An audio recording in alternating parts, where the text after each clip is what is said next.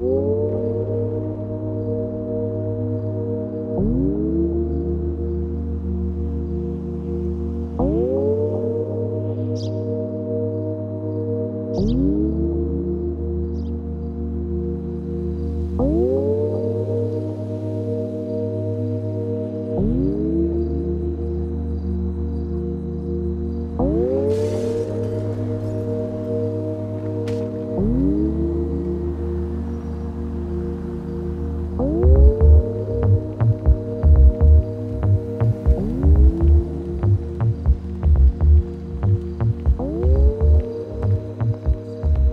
Слышь, лох. Кто? Я? Да, ты, иди сюда. И почему я лох? А хули ты тогда ходишь пешком, а не на машине? А мне что? Нельзя просто так ходить пешком. Может я вышел погулять, подышать свежим воздухом? Чел, какой свежий воздух. Лос-Сан-Наступа воняет. О чем ты? Это одна большая мусорка. Ну что ты доебалась до меня, а? Слушай, ты же крутой, правда? Ну в своем роде да, это так. А знаешь, что делают крутые парни? Ездят на крутых тачках. Вот как на этой. И что? Как что, если не хочешь быть лохом, купи у меня эту тачку, ты же крутой. Или все же не крутой, 20 кусков и она твоя. Ты меня заебала. Я ее куплю тупо, чтобы ты отъебалась от меня. Какой же ты токсик. Ладно, держи. Приятно иметь с тобой дело. Все, я съебываю. Блять, что это было? Я что, у вороны машину купил?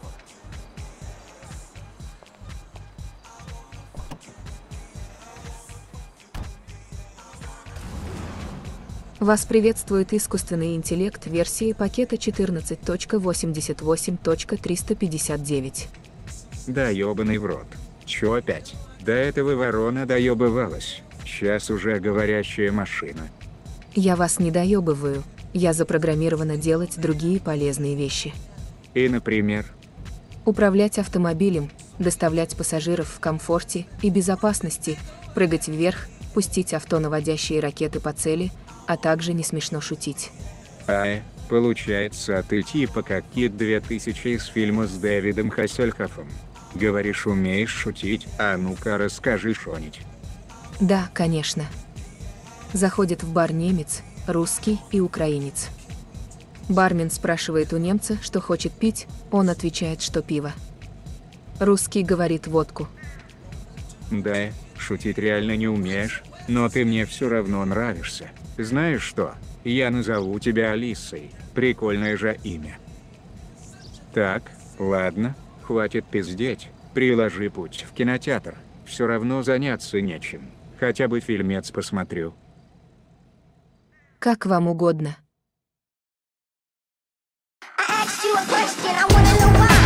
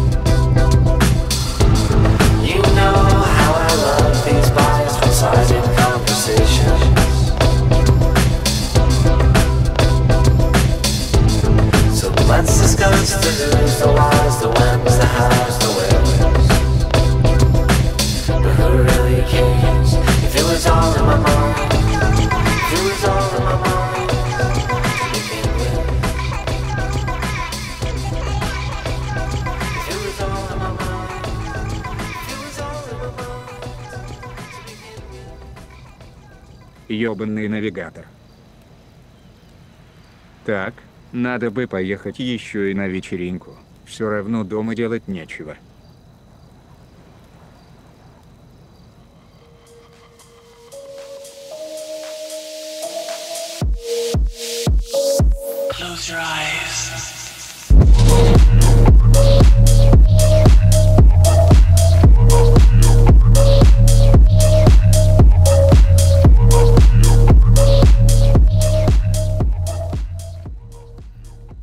Так, так, так. Я смотрю, ты тут толпу своей машиной собрал. Что думаешь? Ты самый крутой? Вообще-то да. Ты вообще кто такой? Что ты доебался до меня? Уже третий раз за день. Дайте мне спокойно почилить. Кто я такой? Я самый главный организатор гонок тут в Лос-Сантосе. Да мне похуй. А, я все понял. Получается, ты тут самый главный антагонист по сюжету, и я типа должен с тобой соревноваться. Сначала я проиграю, но в конце сюжета я возьму реванш и выиграю у тебя. Сорян за спойлер. Я смотрю, ты тут самый умный. Если да, то идем один на один. Я тебя зарою. Посмотрим, как будешь умничать. И да, машину твою на проверку. Мало ли там запрещенный тюнинг.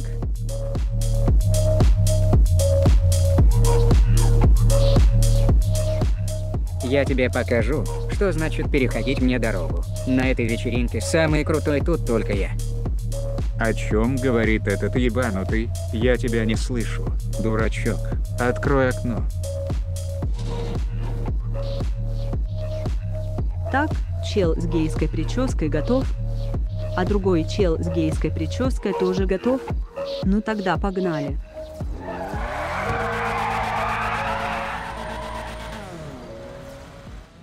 Алиса, едем. Ща поезд говна.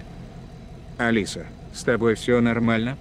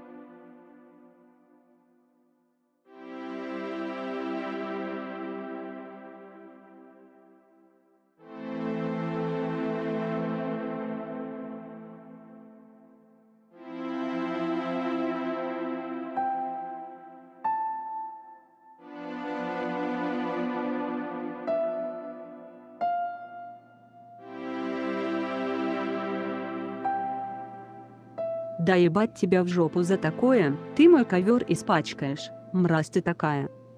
Я как бы не против такого. Но, женщина, оставь меня в покое, мне больно. Как говорил Конфуций, имеешь бессмертие, люби и страдать.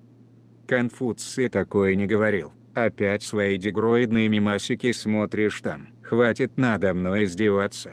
Ладно, я понимаю, что ты иногда шизоид, но ворона, говорящая машина, помню, шоколадная нуга тоже говорил про разговаривающие машины, но тогда я ему грибов в суп насыпала.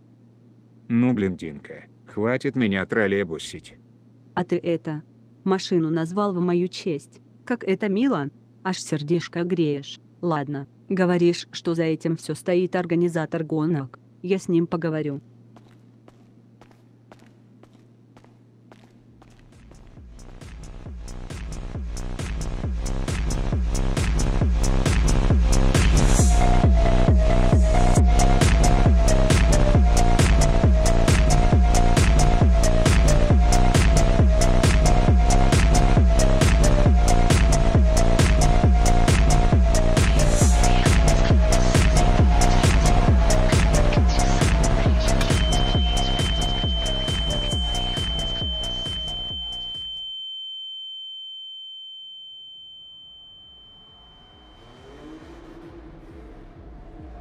Хули смотришь?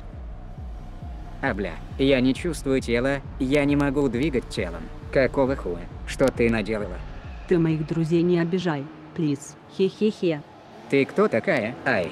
А-а-ай, вернись. Ты за все заплатишь.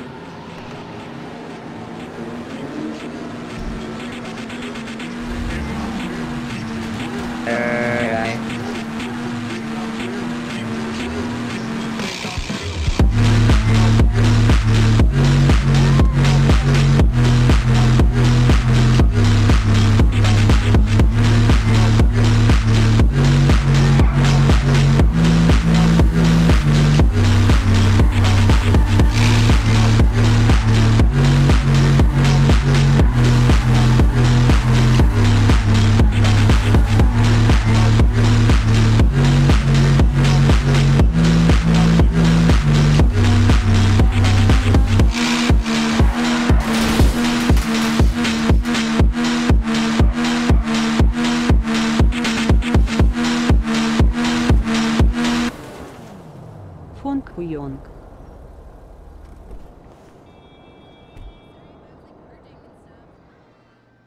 Смысле тут нет шоколадной нуги? Ты меня не беси. Еще раз спрашиваю, где эта черножопая мразь? Мэм, я вам и отвечаю в сотый раз. Я не знаю, кто это и не владею информацией, кто работал до нашей компании. ХМ. Странно, не похоже на него. Да и последний раз мы виделись год назад, когда грабили казино. Может он умер, может его держат в плену. Я же доставила ему машину на обзор. И что делать сейчас с ней? Ладно, похуй. Мой дружок-пирожок, вышло новое летнее обновление в GTA Online. Масса новых гоночных тачек, изобилие тюнинга, новые автомастерские и многое другое. На все это нужны бабки. И очень много. А твои карманы пусты, а? Вообще никаких проблем. Заходи в мою группу по прокачке. Прокачим твоего перса по полной на любую сумму. Прокачка доступна как на ПК, так и на все консоли. Переходи, заказывай и наслаждайся новым обновлением, не опасаясь, что закончатся бабки. Первая ссылочка в описании. Вот прямо сейчас можешь туда перейти и заказать прокачечку. Дружочки-пирожочки, всем привет! Сегодня у нас на обзоре свеженький Пфистер Гроулер. И я считаю этот автомобиль самым отвратительным и самым прекрасным. Прям как вискарь 40-летней выдержки. По сути пиздец какое пойло, если хуярить его стаканами. А если пить по чуть-чуть? Осторожно, еще и с сигарой. И весь этот дымок во рту от сигары от вискарика. Идеально. Но начнем с внешки. Перед нами вылетый Porsche Cayman. Нравится ли мне дизайн Каймана? Да. Нравится ли мне дизайн Гроулера? Нет. И все дело в деталях. В общем выглядит все достойно. Компактный спорткар.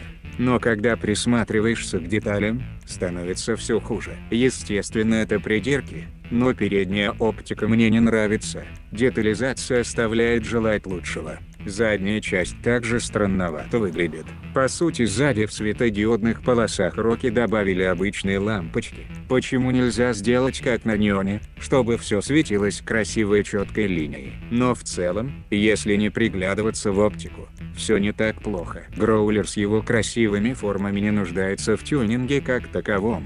Его можно конечно же обвесить карбоновыми сплиттерами, сделать карбоновый капот, и вообще затюнинговать под трековый GT4, но от этого быстрее и маневреннее он не станет. Поэтому особо тратиться на внешний тюнинг тут не обязательно. Также не обязательно портить салон добавляя дефолтные спортивные ковши, или менять приборку под гоночно. Если на то пошло, вы с салона можете заказать его в любимом цвете и прокачать только технические характеристики. И все, автомобиль уже будет идеальным, не забудьте только поставить спойлер, он хоть и сильно влияет на внешку автомобиля. Без него на трек лучше не выходить. Ну и конечно же всем не терпится узнать почему он такой ужасный и в чем он такой прекрасный. Все это раскроется на тестах.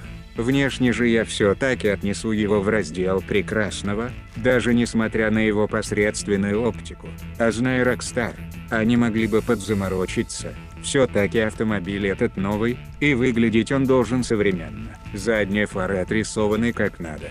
Вот только свет из этих фар не соответствует картинке. Пролистав почти все мимо из предложенного тюнинга, нужно остановиться на спойлерах. Не лип-спойлерах, которые предлагались чуть раньше, а на обычных лавочках. А к сожалению только они предложены в тюнинге. И будь моя воля, я бы не стал ставить ничего, но это хоть немного. Но все таки повлияет на результаты в тестах. Если же брать бричку чисто для покатушек, я бы не рекомендовал ставить что-либо. А так, самым оптимальным считаю крыло GT, ибо этот спойлер не такой большой. Да и такой ставит как раз на версию GT4. А вообще тут идеально бы смотрелся небольшой лип-спойлер для лучшего сцепления. А этого сцепления автомобилю явно не хватает. Ох, что же сейчас будет на тестах. Я решил сделать броулер спортивным и гоночным, но в меру. Немного карбоновых деталей. Но чтобы особо ничего не выделялось так подчеркнуть формы. Поэтому изогнутые карбоновые отверстия сюда идеально подошли. Конечно же доступную жилплощадь в Москве не обязательно ставить на крышу. И я вероятнее всего ее сниму. Но с дополнительным багажником автомобиль прям идеально подходит для молодой богатой пары. которая решила мотнуть в Европу на своей бричке. На такой бы я пол Европы обкатал. Была бы такая бричка и мультивиза Шенген. По раскраскам тут не особо густо. Из предложенных самой амбициозной является конечно же раскраска под прикрытием. Спасибо хоть номер 99, а не 69, хотя возможно кто в теме, тот поймет. В остальном же можно прилепить небольшую полоску с надписью Лишним не будет цвет автомобиля. Тут достаточно ввести в поисковик Porsche Cayman и вам тут же вылезет вся подходящая палитра для этого автомобиля. Самые распространенные цвета. Это конечно же желтый или красный, но я люблю синий цвет. В любых оттенках, поэтому именно в ультрасиний я его и заделаю. Дополнительный же цвет меняется на суппортах и в прострачке. И как бы мне не хотелось все это раскрасить в красный цвет. Думаю все-таки это будет неуместно. Цвет обивки же меняет весь цвет в салоне, включая крышу. Ну и конечно же черная крыша. Это один из пунктов, который должен быть всегда при выборе нового автомобиля. Поэтому красим все в черный. И плевать, что по сути вся приборка, как и весь салон слились. Ну и по сути все, автомобиль готов к боли и унижению. Только испытывать эту боль и унижение будет Перри, а не сам автомобиль. Так, по максималочке. Я когда делал замеры, немного прихуел от калькуляции. В обычном тюнинге среди всех тюнеров Гроулер оказался самым быстрым. Да ебать, самым быстрым. Даже быстрее Калика. Но мы-то знаем, что Калика ебашит на низкой подвеске, а Гроулер лишь немного ускоряется, 212 км в час. Да это быстро. Но с низкой подвеской страдает управляемость. Со скользкими шинами Гроулер ебашит под 280 км в час. Это пиздец как быстро. Но автомобиль становится просто неуправляемым бревном, которое мчится вперед и хуерну клала на эти ваши рулежки. В общем с максималкой тут все заебок, что на драге.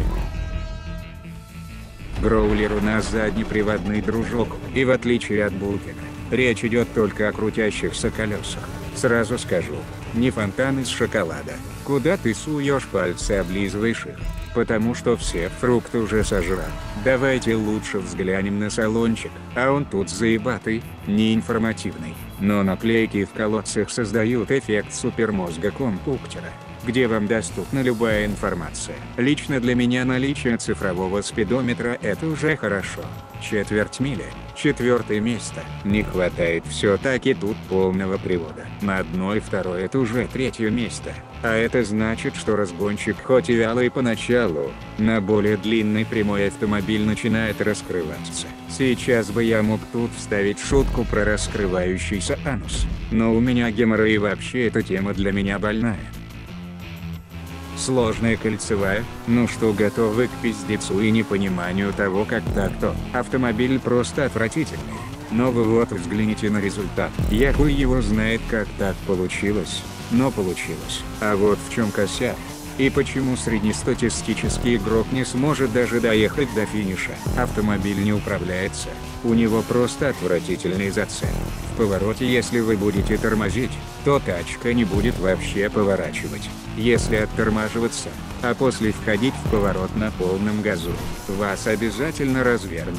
Держака тут нет совсем. Поэтому на этой бричке проходить поворот можно только отпустив все педали. Только так эта тачка может нормально пройти поворот.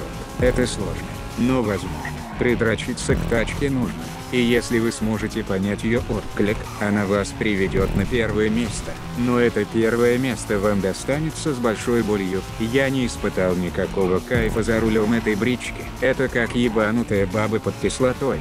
Вся такая сексуальная. Но может и нож под ребро ебануть. И с этими мыслями ты не расстаешься. И как только об этом позабудешь, ты сразу же вылетишь к хуем с трассы.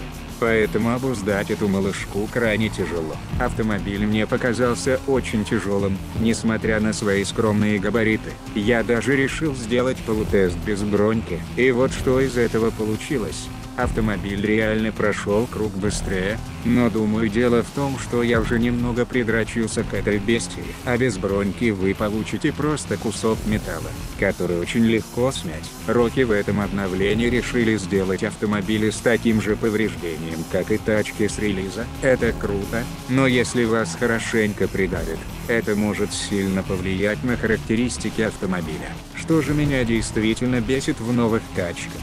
Так это то, что они очень легко и быстро пачкаются. Роки отошли от этого всего.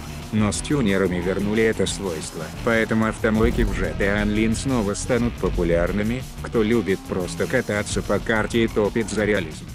Гран Туризма. Ох, сколько боли и сколько страданий. И знаете что? Даже на длинных скоростных участках Гроулер показал достойный результат. Второе место. И если еще прокатать кругов 50, можно вырваться в лидеры. Но задачи такой не было. Я лишь скажу, что на гонке эту бричку можно брать. И побеждать на ней. Но только если вы не въеденный гонщик и знаете, что в гонках решают именно тормоза, а не ускорение. Будьте аккуратны с этой бричкой. Она почти не прощает ошибок, в отличие от Калика с ее невъеденным держаком.